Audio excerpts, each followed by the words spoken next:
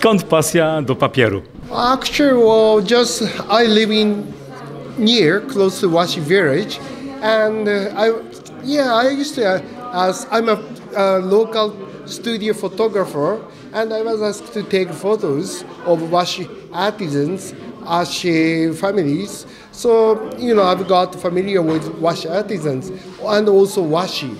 Then, uh, well, six, 6,000, uh, excuse me, 2016, Joanna Kokot, the uh, Polish lady, uh, she came, uh, she visited me with her family. Then I just uh, involved to, uh, deeply to Washi. Pani Janno, jest Pani konserwatorem sztuki, zajmuje się Pani papierem. Czy możemy coś powiedzieć o technologii wytwarzania papieru w Polsce i w Japonii? Czym się różnią?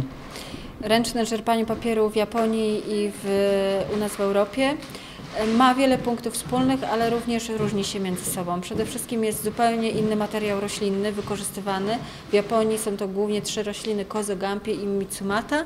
Natomiast my w tej epoce ręcznego czerpania papieru tutaj w Europie wykorzystywaliśmy szmaty, czyli pierwotnie wykonane z lnu, z konopi, później także z bawełny.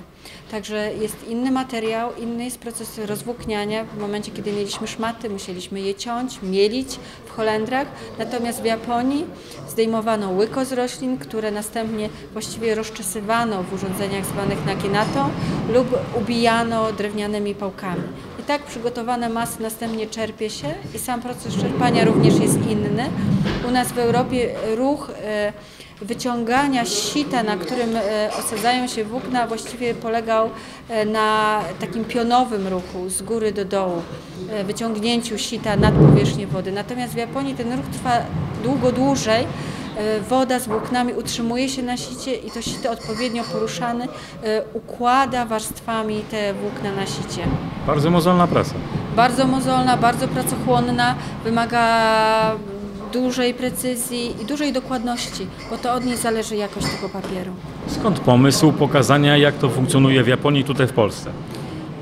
Zawodowo faktycznie potrzebuje po prostu papier japoński. On jest wykorzystywany w procesach konserwatorskich, ponieważ jego jakość, przede wszystkim pH jest stabilne, e, procesy starzeniowe zachodzą znacznie inaczej niż właśnie w, e, w papierach, które są produkowane współcześnie. W związku z tym naturalnie potrzebowałam ten papier, poznawałam go coraz lepiej, no i również okazało się, że dotarł do nas z całym warsztatem tutaj jako przykład do Muzeum Papiernictwa w Dusznikach. Można zafascynować się Japonią?